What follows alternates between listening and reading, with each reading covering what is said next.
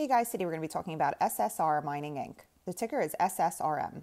SSRM was founded in 1946. The headquarters are in Vancouver, Canada and Denver, Colorado. SSRM is currently $17.12 per share. Here is the historical trading chart for SSRM. The market cap is 3.62 billion.